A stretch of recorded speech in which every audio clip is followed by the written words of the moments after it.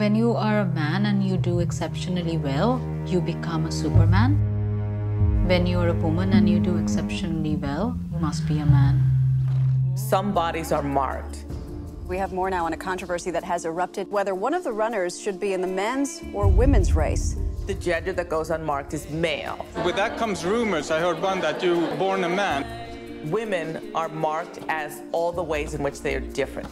There is a need for a gender verification, which is a long, complicated scientific process. They want to destroy her championship by actually calling her what she's not. The world is afraid of black female champions because a high level of racism comes in. This history of scrutiny of women's bodies have been created through decades. So they asked the athletes to parade nude. The women athletes. The women, only the women athletes, yeah, not the men athletes. Who made them the gods that decide who can be a woman and who can't? They have taken initiative to do surgery on women. Asking those athletes to reduce their testosterone level to create a more level playing field. It is hate mongering and manipulation of the worst kind. When I was in the bed, I didn't know what came out. Hard guys under my belly.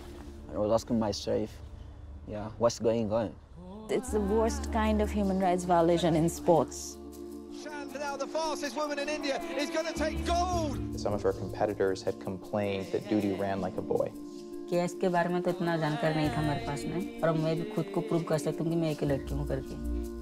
Case to us, this looked like a case where there was a violation of human rights. This is not just about Caster. This is about all the athletes you've never heard of. Eventually, she was outed. You know, it was like a scandal. I was even to do a suicide. I'm not going to take medication because I'm not sick.